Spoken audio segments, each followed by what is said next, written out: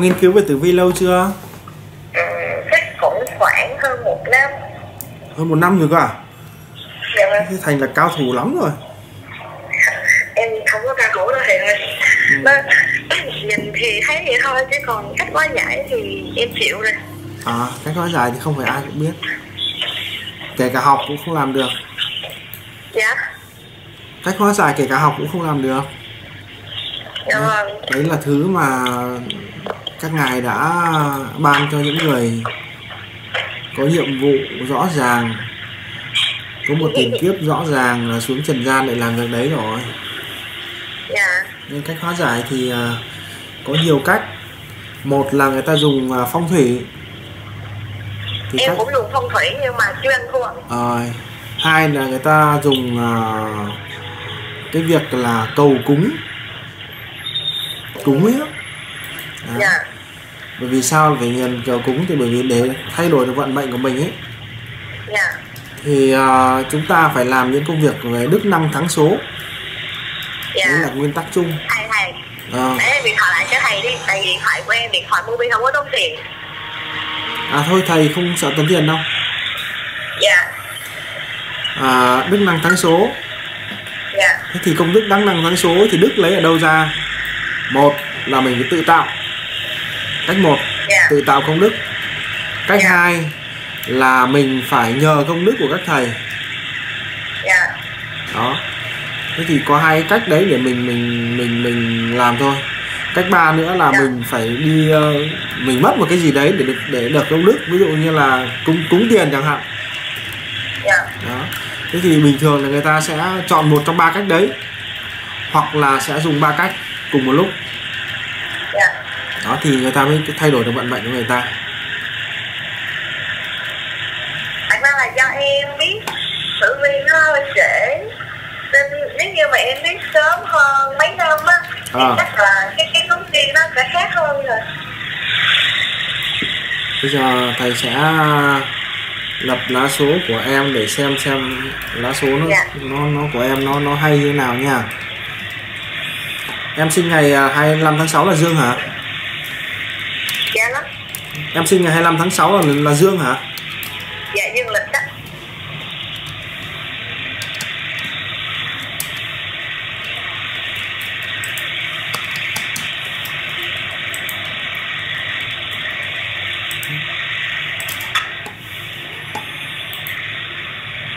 Lá số đây rồi. Mệnh vô chính diệu Tài vô chính diệu, tử vô chính diệu, phu vô chính diệu. Đúng rồi.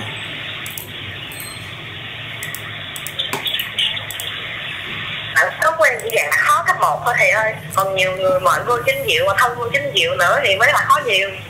Rồi xét về âm dương một chút. Âm dương nghịch lý rồi đúng không? Dạ. Xét về âm dương thì là sinh ra là âm dương nghịch lý rồi bởi vì mệnh mệnh Dạ, nữ đóng ở cung dương nhá. Dạ. Xét về ngũ hành thì bản mệnh là đại lâm mộc cục, mộc tam cục, nên là cục hòa bản mệnh luôn. Năm nay là 28 tuổi âm rồi đấy. Các cung nào, mệnh vô chính diệu là một. Phu thê vô chính diệu tứ tích vô chính diệu, tài bạch vô chính diệu. Ừ. đây là con người mà lá số tử vi khó đoán, đúng không? Nhưng mà xem lá số tử vi á, thì người ta xem ngó cung phúc đức đầu tiên. Cung phúc đức của em là thiên đồng thái âm hãm địa nằm tại ngọ gặp hóa kỵ.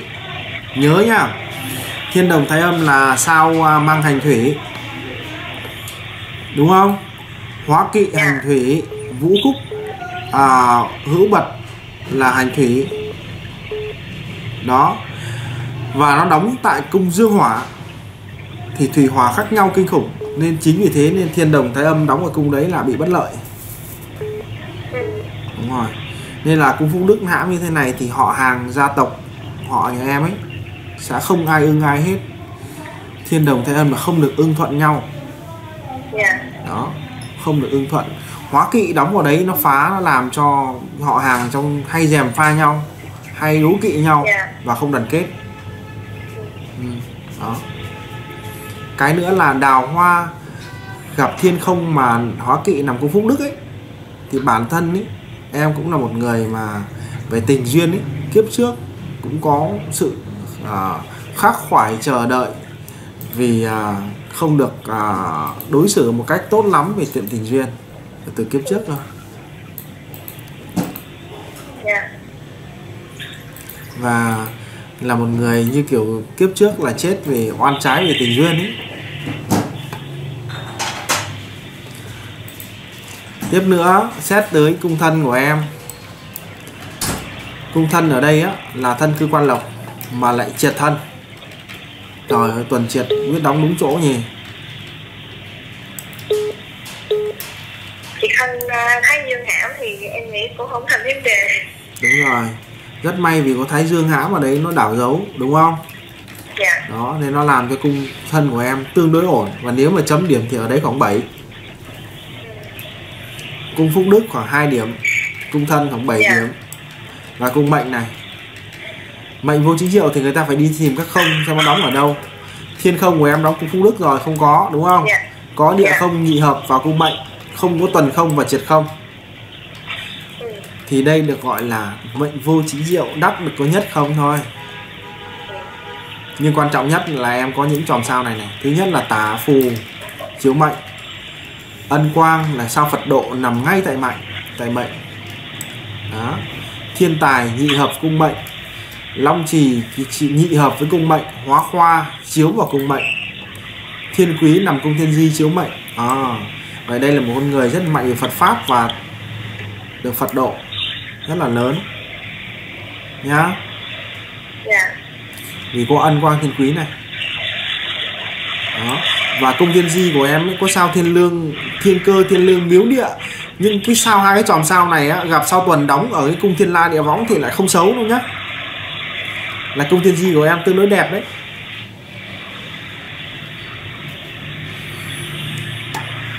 Có hoa khoa nằm cung thiên di nữa là người có nhiều học thức và đi đâu học đấy học được rất nhiều thứ từ trong đời này. Con người quan trọng nhất điều gì biết không? Nhiều người bảo là sức khỏe nhưng mà theo thầy thì đó là trí tuệ, quan trọng nhất. Khi có trí tuệ rồi thì sẽ biết cách sống đúng mực này, bảo vệ mình này, sẽ có sức khỏe tốt này và giải quyết được nhiều vấn đề hơn nữa. Và trong luân hồi ấy, thì à, chỉ có linh hồn là tồn tại bất tử bất diệt thôi. Cái thứ mình mang đi sang kiếp xác thì nó chỉ có là cái phần trí tuệ của mình thôi có thể xác không mang đi được. Nên quan trọng nhất là linh hồn, chính là trí tuệ em là người có học vấn trí tuệ tốt. Bởi vì sao phong cáo tại mệnh này này? Là cái sao bằng sắc bằng cấp nhiều người công nhận mình. Ngoài ra là còn đam mưu túc kế nữa. Đã mệnh vô chính diệu đã giỏi rồi lại thêm phục binh nằm tại mệnh nữa là người rất nhiều mưu cơ giải quyết các công việc. Mà em thấy em khờ lắm thầy ơi. Úi rồi những người nào bảo khờ là không khờ tí nào. Thầy cũng hay thầy cũng hay bảo các bạn là thầy khờ lắm. Người nói em nghe thôi á. Thầy cũng ngây thơ lắm.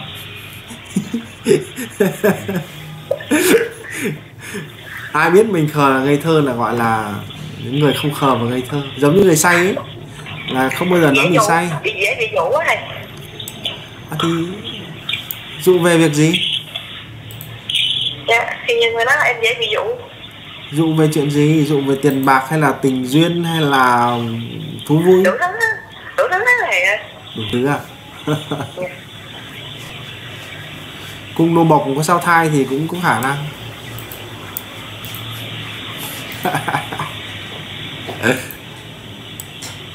Có hiểu tôi nói cái gì không đấy? Tín hiệu em không có nghe được rõ. À cung nô bộc mà có sao thai thì cũng cũng cũng ờ, dễ bị dụ lắm à.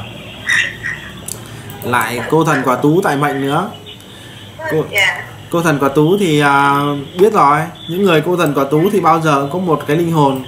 Thường sẽ có một linh hồn đi theo. Ví dụ nữ thì sẽ bị nam theo. Nam sẽ bị nữ theo. Đó. Dạ. Họ cản trở mình che mắt mình. Hiểu không? Dạ. Ừ. và cung điền trạch của em nó có sao tăng môn kình dương nữa là cẩn thận đất ấy, ở cái, cái nhà mình ở ấy. Dạ. Ờ dễ là có người chết ở đấy. Dạ. Đó em biết khỏi à, không cần coi cũng biết. Không cần biết biết là gặp cái người đấy chưa? Dạ. Để nhìn thấy họ chưa? Chứ bao giờ nhìn thấy người. Nhưng cảm nhận được họ không? Cũng được. Đó. Là đất ở nhà có ma rồi có là chắc rồi thầy ờ. mà cái sợ, mà thầy nói nhà với quê của em á là còn là địa thôi. Ờ, mà biết long kình có biết làm sao tang môn kình dương gặp sau mộ đố biết là cái gì ấy. tại vì thầy đố biết kình dương gặp mộ là gì? Dương kình dương em sao không rõ. á. sao kình dương gặp sau mộ ấy? Là gì thầy nghiên cứu tiếp nhá. Lúc nào trả lời thầy sau em nghĩ nó có một cái cũng thú vị việc này tế nhị không thể nói được ừ. nhưng có rất nhiều ở nhiều, nhiều ở cái nhà ấy mà ở đấy có vong nam Dạ. người ta hay ngủ với vong nữ Dạ. ấy. đấy và thường người À. thường là người nữ không nhìn thấy mặt rõ cái người nam đấy nhưng thường họ hay làm những hành động đấy à em hiểu rồi đó hiểu chưa rất là Dạ. nguy hiểm đấy nhá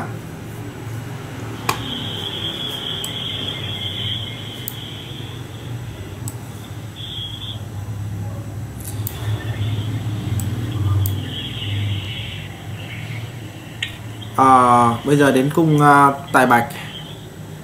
Tài bạch mà có sao thiên khôi ấy dạ. là phi liêm và long đức thiên địa giải thiên giải ấy là người kiếm tiền rất là đẹp fair play. Kiếm tiền một cách tử tế. Cũng đúng. Ờ. Có biết người kiếm tiền đẹp là thường là người ta sẽ sẽ sẽ, sẽ làm những việc như gì không? Người kiếm tiền đẹp có biết là người ta hay làm những việc gì để kiếm tiền không đi thầy ngày nào còn ngày nào không trộm cướp thì đẹp tôi thầy không phải. Thường người ta hay làm những cái việc mà khiến cho cái người trả tiền cho mình ấy. Vừa à. có cảm giác vui. Vừa có cảm giác vui. Mà mặc dù mất tiền thôi nhưng vẫn cảm ơn. Dạ. Ừ. đấy lại kiếm tiền một cách đẹp. Sau này à, có bỏ một con. à, hỏng mất đứa con. Dạ. Huynh đệ. Huynh đệ. Huynh đệ thì à, bố mẹ xảy nạo mất hai người. Cái này em không rõ. Bố mẹ có giàu không? Dạ không. Thế à? Em cũng muốn bố mẹ giàu lắm để em giàu theo mà bố mẹ em giàu. Không giàu nhưng bố mẹ cũng được mà em không biết có được không? Em thấy đây hỏi đó được dạ. Em cũng đang rất là kỳ lạ. Tại sao có liên tổng đóng có đó này nhưng mà lại không dài? Chính phủ đóng ở đây nhưng không giàu á bởi vì nó lục Dạ, đang- nó nó nó bị lục bại tinh chiếu vào rồi. Hỏa linh này dạ. nhá địa Dạ. không chiếu này. Đấy sao quan phủ chiếu này có làm được rồi địa kiếp chiếu vào này thiên hình chiếu vào nhá. Đúng rồi nên là mẹ mẹ sau này dễ mất sớm. Dạ. Bởi vì thái âm đã hãm rồi. Gặp hóa kỵ này cung ngọ này nó phá. Gặp sao tử này. Dạ. Đó nó chiếu vào thế nên là mẹ sau này mất sớm. Mà Đà La đóng ở đấy thì cha mẹ sẽ có người bị tật. Dạ. Nhưng hậu vận em giàu có bởi vì em sẽ gặp một đại vận tốt từ năm 33 trở ra. Riêng tham vũ đồng hành gặp 33 gặp hóa quyền hóa lộc ở đấy thì thôi rồi khoa quyền lộc em biết. Ra là bây giờ em đang chuyển ngành. À.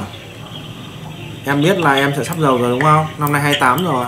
5 năm nữa. Không em ờ, bây giờ em đang làm cái tiền đề để cho những năm đó phát triển. À thế à? Tại vì nếu như mà có cái cái cái phần đó thì em nghĩ là em đi qua bên ngành là bất động sản thì em sẽ hay. Đúng thế. Và em ra là em đang đang chuyển bất động sản để học rồi học bất động sản đi bởi vì từ 33 đến năm 42 thì kiếm được vô số tiền vô khối nhiều lắm. Em biết đó là em muốn em muốn chuyển ngành đó. Ừ, chuyển ngành đi. Dạ. Nhưng mà nhớ là kình dương với tăng môn nằm cung điền trạch là phải biết lễ nha. Vâng. Không biết lễ em là đâu em em em cũng khấn vái người cho cướp bọc cướp ngoài đó cái này ơi ờ, không biết lễ là thôi đấy mua thì được nhưng bán không được đâu. Dạ vâng. Ừ. viết lễ viết viết vá lễ thì sẽ được đúng không thầy đúng thế. 23 24 25 26 27 28 năm nay ô năm nay không định lấy chồng à? Chưa em đang cũng đang thắc mắc đây. Ờ, nếu như mà đúng vận hạn của em năm nay em phải nhìn thấy người chứ. Thôi thôi sang năm lấy vậy. Vì lấy lấy nếu mà lấy năm nay sang năm bỏ mất rồi đừng có lấy. năm giờ thì còn lấy ai có thấy ai đâu mà lấy rồi ờ, nên là em phải giải sao cô tần quả tú tại mệnh nha. Cô muốn giải không? Dạ có. Thế thì một là ra Hà Nội hai là đang Sài Gòn đúng không? Em đang Sài Gòn. Thế à, hai là hôm nào thầy vào Sài Gòn thầy gọi. Không. nhưng mà theo cái cung của em á năm sau đúng là có sát tham thì nó cũng là cung để lấy chồng năm tới nữa. Nó thì có nó, nó có ờ, ờ, tâm minh thiên hỷ. Đào hồng nghĩ ừ, cũng có thể lấy chồng. Đúng rồi. Trong khi năm tới. Vậy nó phải biết biết năm nào sẽ là năm lấy không?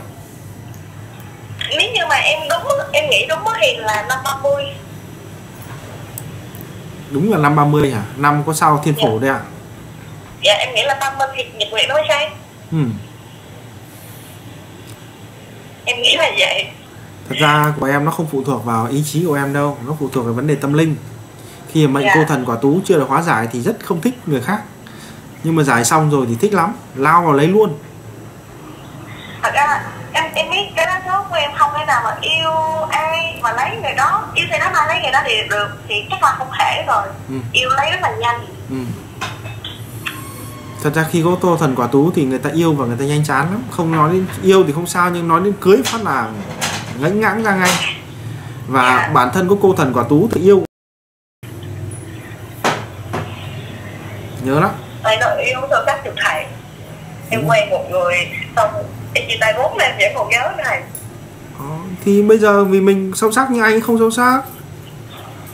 À, hiểu không? Dạ mình thì sâu sắc nhưng anh không thích bởi vì anh ấy ra tiền nhà anh thấy mình có vong theo nên là bảo anh ấy nói thầm với anh ấy thôi đừng đụng một cô này sau này vong nó bóp cổ chết đấy. Dạ. Thế là anh ấy ngãng ngẫy ngãng ngẫy ngãng em mà muốn hỏi. Em em muốn hỏi cái vấn đề gì trong lá số tử vi này nữa nào? Vì nhiều người không không biết cách luận lá số tử vi của bạn đâu nhưng mà em là một người lá số vì phận âm phần âm em mắc quá nhiều. Phục binh là có thể là sau âm đóng một cung mệnh này quả tú này nằm cung mệnh này cô thần đóng cung thân này và đất lại có tang môn này kình dương gặp mộ này. Đó. Nên là em là một người mắc rất nhiều việc âm nên có những cái việc nó không tuân theo logic thông thường. Nên là địa mệnh Dạ. của em nó mạnh quá nó khiến cho em bị chậm về tình cảm rồi trong quan hệ nữa. Dạ. Em là một người điển hình là phải giải hóa giải hết những cái âm đấy ra khỏi người và hôm nào một là ra Hà Nội hai là Sài Gòn ba nữa phải gọi FaceTime nhá. Ở cũng được thầy. Thầy sẽ mời vong linh đấy lên cô thần quả tú lên Dạ. để nói chuyện xong thầy giải cho. Dạ. Nhá. Nhưng không phải Dạ. hôm nay bởi vì hôm nay chưa sẵn sàng việc đấy. Dạ không sao đâu. Ừ. hôm nào nếu như Thôi, thôi, thầy hẹn hôm nào em chẳng biết hôm nào đâu. Rồi cho một cái hẹn chính xác đi. Ngày dài ngày cũng được. Nó không cần hẹn chính xác đâu thầy rảnh là thầy gọi. Bây giờ thầy bây giờ phải khoảng à, mấy trăm cái lá số đang ngồi đợi người nào cũng giận dỗi Ờ. hết rồi. Nếu ai có nghe được cái cái cái video này thì nhớ đừng có gần thầy dục thầy nữa. Vì thầy là kiểu như là rất muốn xem cho mọi người một cách chỉn chu tử tế chú đáo ấy thì đừng có dục. Mà càng hối thì xem càng vội thì càng không chuẩn dạ vâng. Nghĩ định để thầy thật tĩnh tâm thì thầy xem rất là chuẩn. Ví dụ như Dạ. bạn này này là 33 trở ra là nhiều tiền lắm mà. Dạ. Đó. Rồi 43 trở ra là công việc lại có nhiều sự thành công này. Bởi vì 43 Thái Dương này cự môn này là cái tròm rất là đẹp trong cái việc nghề tư vấn đất cát. Dạ. Ừ. rồi nói từ chung là trong hai hai hai mươi năm tới cuộc đời của em nó sẽ tương đối đẹp. À, không mà đẹp nhất trong cuộc đời luôn chứ phải tương đối đấy. từ năm ba trở ra thì à, gặp không kiếp chiếu nên là có nhiều bạn bè sẽ không tốt với mình lắm. Dạ. Cẩn thận bị lừa. Hay bị lừa. Đúng rồi 63 tuổi trở ra thì dịch chuyển nhiều nhưng cũng tốt làm quân sư rồi. Lên đấy lúc đấy làm thượng hoàng rồi.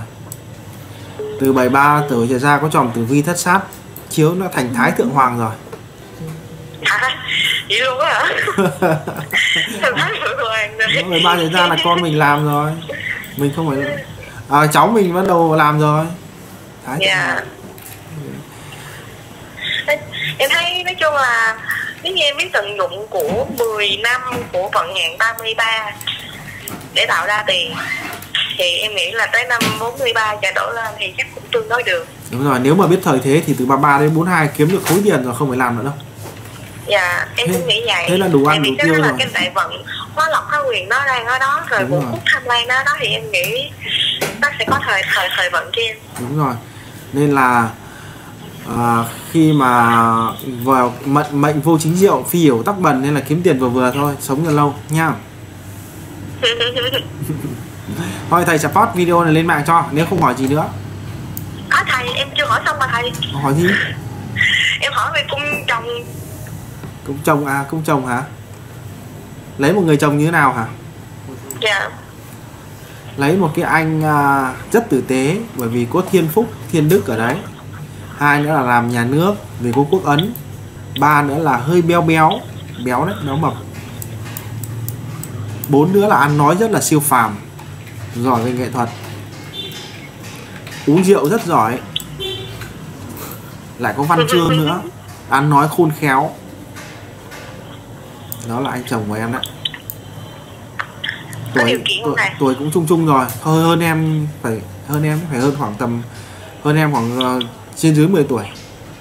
Ừ. cái đó em thích đó Ờ. có điều kiện. Có điều kiện. Có học thức.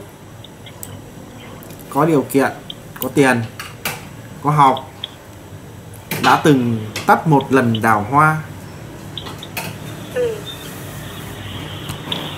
với số em em số em là số em là tiền kiếp em đi lừa tình thôi. Kiếp này sẽ gặp một anh đã có vợ rồi. Không sao. Kiếp trước mình lừa tình mà nên kiếp này sẽ gặp một anh đã có vợ rồi. Em cũng cảm giác như em kiếp trước em bị lừa tình rồi hay sao? Em kiếp trước lừa tình người khác như sao? Kiếp này nhiều người lừa tình em quá không biết. Đúng rồi. Bởi vì đào hoa gặp hóa kỵ mà lại thiên không nằm tại ngọ. Dạ mười hai cung. Năm sau là em có thuộc cung mão. Năm Ừ. sau nó có tiểu đại song hao thì không biết. Nhưng sang năm là sang năm là nhớ nó nằm ở cung mão. Nghe này nghe nhá. Sang năm mà Dạ. đầu, đầu tư cái gì chết cái đấy? À. Nhớ đấy. Sang năm chỉ đi Dạ. chơi thôi nhá. Nếu mà làm cái gì thì đừng có gọi thầy cao anh mà khóc. À, nhớ điều đấy đầu tư cái gì chết cái đó sang năm chỉ có đi học tử vi thôi đúng rồi. Cố gắng học rồi xem lại cho thầy thôi chứ đừng có dại làm cái gì hết.